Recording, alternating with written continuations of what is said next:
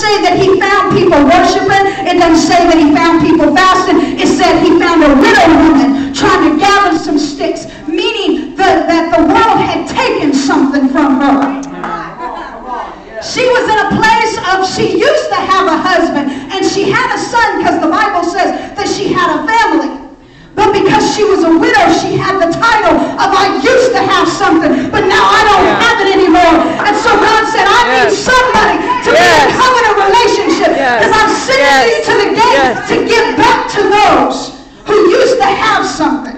something. She's a woman of faith because she recognizes who God is of Elijah.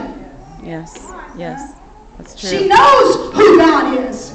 She knows God, Elijah didn't say nothing to her. And all she had to say was, I will do it because of your God. Amen. There was something about Elijah that she automatically recognized this is a prophet and a man of God. Yes. You ain't got to go around telling everybody you're a prophet. You don't have to go around telling everybody you're a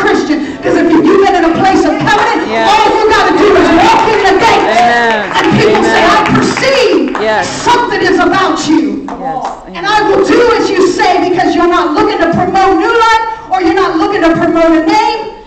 But I can just sense a covenant relationship Amen. about you. Amen. And so he's there in this place, the gate of the city, and the woman was gathering sticks. And she was getting ready to prepare her last meal and die. She was going to give to her son and partake of herself. But then the word of the Lord came out of the prophet's mouth. And what came out of the prophet's mouth not only brought salvation to her, but it brought salvation to her son, and it brought salvation to her family. The Bible also says that because that she was obedient to what the prophet told her to do, that she then never ran out. That her once once the thing that was lacking in her life was automatically sustaining her now the thing that she was going to partake of and die, now she's in a place where because of obedience to what the man of God had said, who had been in a covenant place of rest and nourishment, now she's listening to that word, and now that same God that provided for Elijah in covenant is now stretching forth. Mm-hmm. Yeah. Huh? Everybody with me? Mm-hmm. And then from then on, and you can read, you can read later. From then on, Elijah did some awesome things. But it all started when he first came on the scene. After a time of preparation, God said, Elijah, I need you to make some covenant with me. Because mm-hmm. I'm about to prepare you for a place that you've never even thought of. I'm wanting to do something with your voice and turn a nation. You understand that it was through his voice that the nation, not just a city, a nation got turned back to who God was.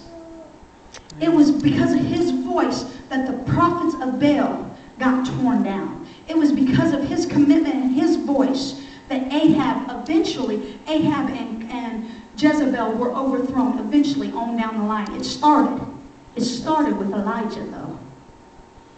And I believe we are in a place for this year that God says if we will take these couple of months and we will put ourselves in the brook and stay there. Quit being a hip hopper. One minute you're in, one minute you're out. Right. And then one minute you're you're on fire for God, and the next minute you're barely even knowing who God is. God right. is saying, if you will get in a place Amen. and stay there, I will get ready to do some things with your voice. Amen. How many said I'm willing to do that? Amen. You understand that it takes sac- it takes a little bit of sacrifice. I'm not I'm not saying that it's going to be easy, but I am going to say as long as you're in a place of this, provision will be made. You don't have to fret about your bills. You don't have to fret about your family. You don't have to fret about nothing else. As long as you're in this place right here, God says, I'll provide for you. Amen. All the things that we let our mind weigh us down with and the stress and just the life, the Bible says, as long as you're in this, I'll provide for you. I'll cause refreshing. I'll cause you to be able to drink because I want you to build your nourishment up because I'm getting ready to do something with your voice. Amen. I want Yvette to come. She's going to share some stuff with you.